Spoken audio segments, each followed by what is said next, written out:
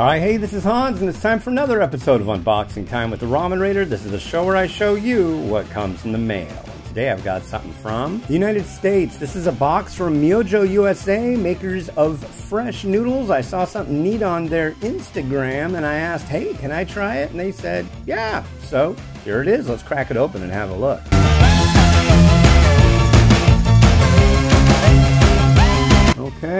So these are all fresh varieties that you'll find in a refrigerated or frozen section at a grocery store.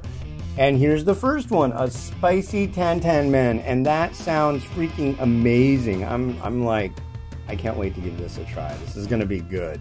And then we have this one. This sounds fascinating. So it's a yakisoba, but it's a sweet and spicy habanero yakisoba, and that sounds pretty good too. I'm I'm really curious how that's to be.